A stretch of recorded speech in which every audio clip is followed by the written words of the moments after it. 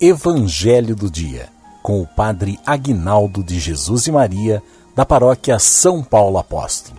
Ai de mim, se não anunciar o Evangelho.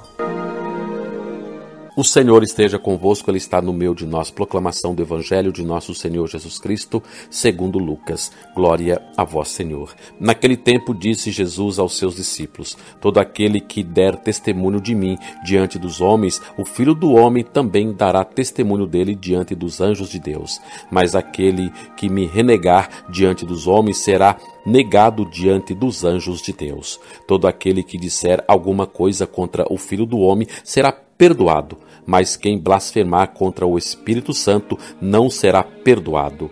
Quando vos conduzirem diante das sinagogas, magistrados e autoridades, não fiqueis preocupados como ou com que vos defendereis, ou com o que direis, pois nessa hora o Espírito Santo vos ensinará o que deveis dizer palavra da salvação. Glória a vós, Senhor. Que a palavra do Santo Evangelho perdoe os nossos pecados, em nome do Pai, do Filho e do Espírito Santo.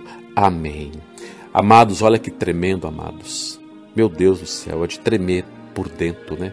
Todo aquele que der testemunho de mim, Jesus está dizendo, olha isso. Todo aquele que der testemunho de mim diante dos homens, o Filho do Homem também dará testemunho dele diante dos anjos de Deus.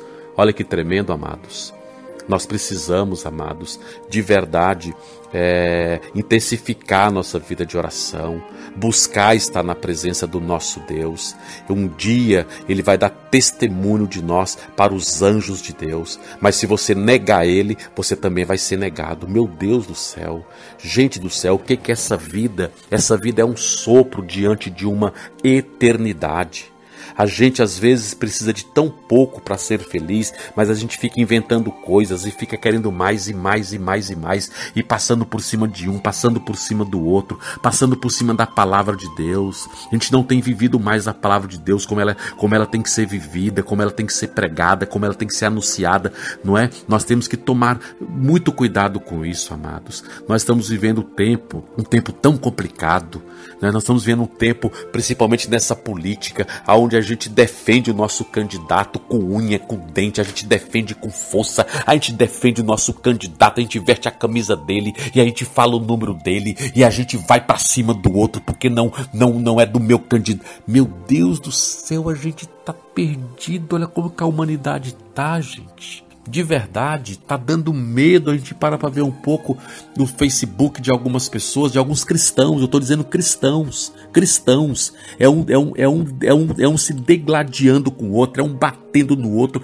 é um rebentando o outro é um, por causa do seu candidato do seu candidato, eu tô virando bicho, eu tô virando um, um, um, um irracional, eu tô virando. Meu Deus do céu, se a gente defendesse o, a nossa fé, se a gente gastasse toda essa força, essa energia defendendo Jesus, pregando o nome de Jesus, ah, amados, seria tão diferente o nosso país. Que Deus, nos, que Deus nos abençoe, que a gente, que o Espírito Santo nos dê sabedoria. Não é? Se você clamar o Espírito Santo, ele vai te dar sabedoria, sabedoria, sabedoria é o que nós precisamos, da luz do Espírito Santo sobre as nossas vidas. Oh meu Deus, oh meu Deus.